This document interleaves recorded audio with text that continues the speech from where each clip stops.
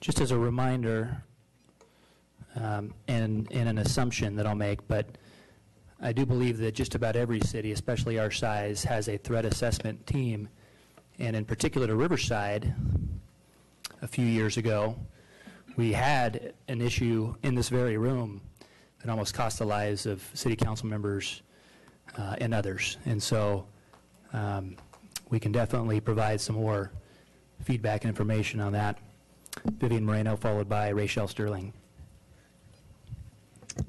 Good afternoon, um, Mayor, City Council. Um, I'm here today because um, I was reviewing last week's City Council tape. And um, I was really upset about Mike Soubirous and Steve Adams' comment last week. And so I felt I really needed to bring those to this dais today. And I was the one who totally disagreed with your comments, Mr. Soubirous. I do believe we have a new city council in place. I do believe we have a new uh, city hall. I believe there is change taking place. Okay, but is that change in the right direction? We don't know yet because we have an interim city manager that is going to be gone pretty soon. And I believe maybe your comments were because you kind of maybe made a deal. Okay?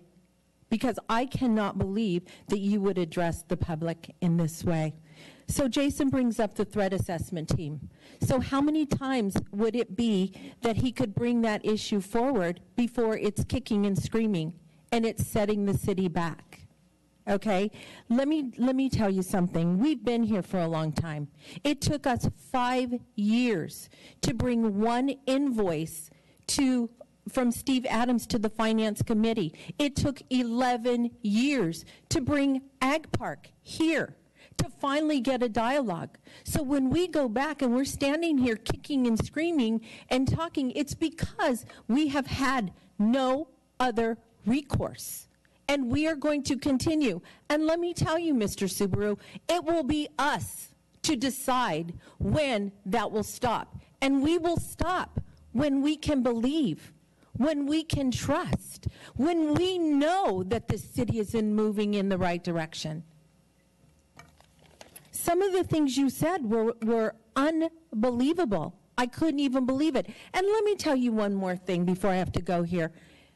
That same city council meeting, I have never heard a city councilman sitting up there calling part of the public disgusting.